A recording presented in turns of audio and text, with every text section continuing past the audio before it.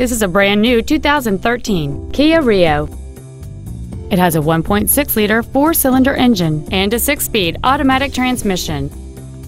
Features include a low-tire pressure indicator, traction control and stability control systems, cruise control, a passenger side vanity mirror, rear impact crumple zones, an anti-lock braking system, side impact airbags, latch-ready child seat anchors, air conditioning, and satellite radio.